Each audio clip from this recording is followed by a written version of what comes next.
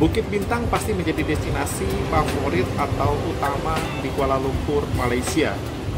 Selain suasananya yang sangat modern seperti Jepang dan berbagai kota besar lainnya dengan berbagai jenis apa yang ditawarkan di Bukit Bintang, tidak lupa adalah banyak sekali kuliner yang bisa kita temui di Bukit Bintang dan sekitarnya. Ini juga menjadi salah satu food court yang hidden games yang kita tinggal turun saja ke bawah dan akan menemukan banyak makanan yang menarik. Dan destinasi pertama kami adalah Damaskus. Damaskus ini adalah makanan khas uh, Timur Tengah secara khusus Suriah yang sangat terkenal di Bukit Bintang di Kuala Lumpur ini. Ayo ikuti kami untuk masuk ke dalam. Kebetulan ini masih sangat pagi, belum terjadi antrian. Tapi kalau sudah siang atau malam, antriannya bakalan sangat panjang sekali.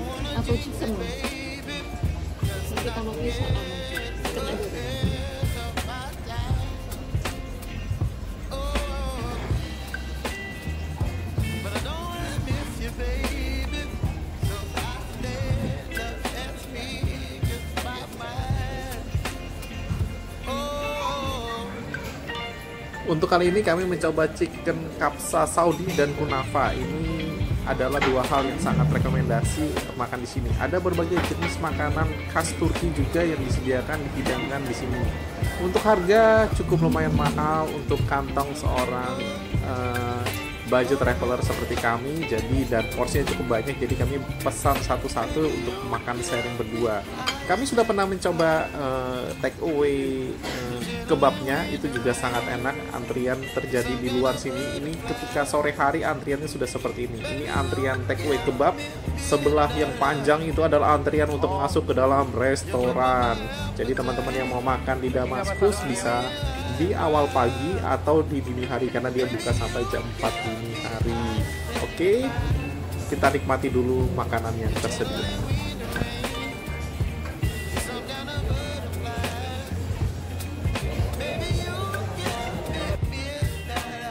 Masih cukup pagi dan tidak terlalu siang, mari kita bergeser ke Jalan Pudu. Pudu ini pasti akan sangat familiar bagi teman-teman yang bakalan atau sering nginep di kawasan dekat Alor Street atau di kawasan Hotel 99. Ini adalah salah satu hotel yang cukup familiar bagi orang Indonesia. Di, di daerah Pudu ini ada sebuah mall kecil bernama The Robertson dan juga ada apartemennya. Nah, di sini di bawahnya ada dua makanan yang kami rekomendasikan. Yang pertama adalah kedai Mama Kusin dan satunya lagi adalah mie tarik halal khas uh, Timur Tengah juga, Chinese Timur Tengah. Tapi kami juga mampir dulu ke dalam mall Robertson ini ada sebuah uh, coffee shop yang sangat rekomendasi juga dan biasanya ini hanya buka di weekend saja. Coffee shopnya sangat ramai secara khusus di weekend. Kopinya enak dan juga uh, cake juga sangat enak. Bisa dicoba kalau teman-teman yang nginep di kawasan Kudu atau di kawasan sekitaran Hotel 99.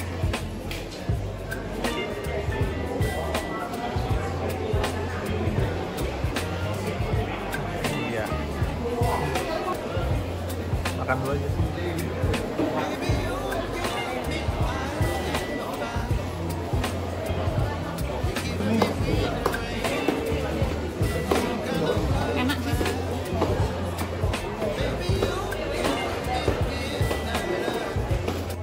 Bergeser ke bawah di masih di kawasan Robertson Mall dekat dengan apartemen Robertson ada mie tarik ini adalah mie khas Chinese Timur Tengah. Jangan khawatir teman-teman, ini makanannya halal dan rasanya juga ya. Oke, ayo kita nikmati. Iya,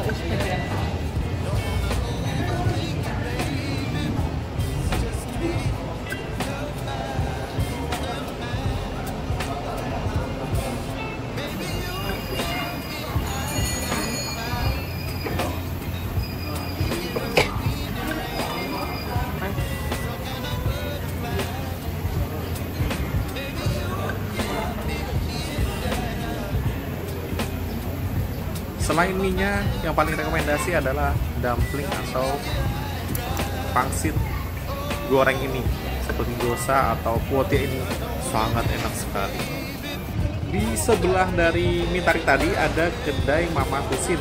Nah, bagi teman-teman yang suka makanan khas Malaysia maupun khas India bagian selatan sepertinya ini saya pesenan dan ayam goreng merah India ini sangat enak sekali. Dan Terima kasih. ini selain makanannya khas dari Malaysia dan India bagian selatan harganya juga sangat bersahabat.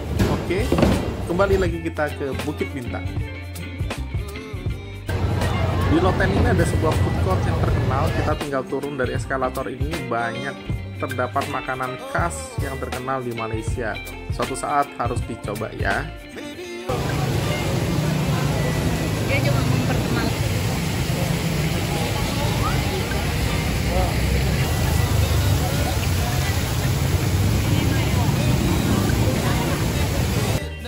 iya, teman-teman mungkin tahu Uniqlo, tapi tahukah teman-teman kalau di Bukit Bintang ini Uniqlo ada coffee shop dan kita bisa duduk sambil memandang pemandangan Bukit Bintang di malam hari.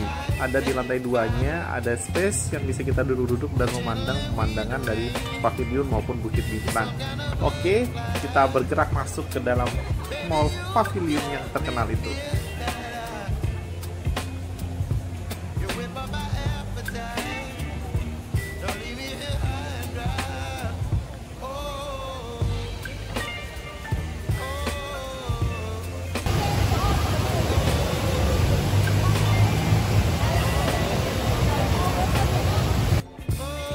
Dalam mall pavilion juga kita bisa membeli oleh-oleh yang terkenal salah satunya popcorn Garrett ini.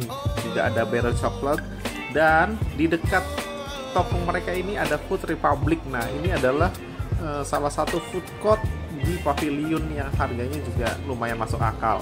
Dan kalau teman-teman suka ngebir, ini teman-teman bisa ngebir juga di pavilion. Ini salah satu merek bir yang susah untuk ditemui dan ternyata dijual di salah satu resto atau cafe di Ocean 12 ini di dalam mall pavilion.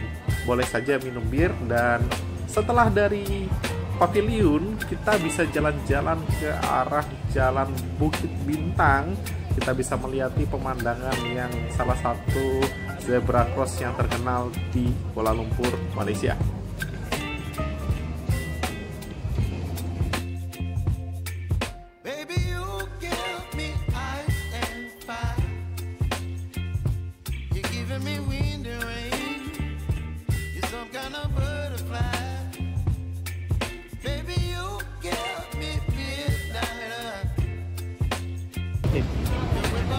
Bintang dekat MRT Exit ini adalah salah satu roti yang terkenal di Bukit Bintang namanya Mon Chinese Roti. Ada dua pilihan daging dan ayam. Ini selalu antri baik siang, pagi maupun malam. Apalagi malam ini antrian akan menjadi sangat panjang. Ini salah satu yang sangat rekomendasi bila teman-teman jalan ke daerah Bukit Bintang silahkan menikmati pemandangan pembuatan rotinya dulu. Kapan-kapan cobain ya, enak banget.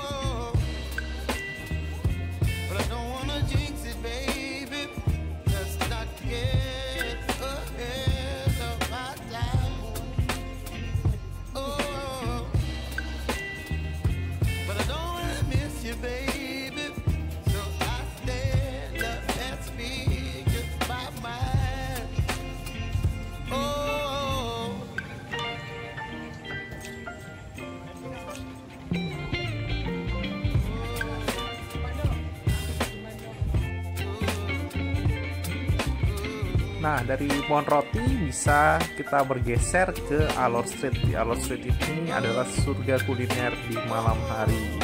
Dari yang snack, yang viral, maupun makanan berat, Thailand, Melayu, Chinese food, semua ada di sini. Terima kasih telah menonton.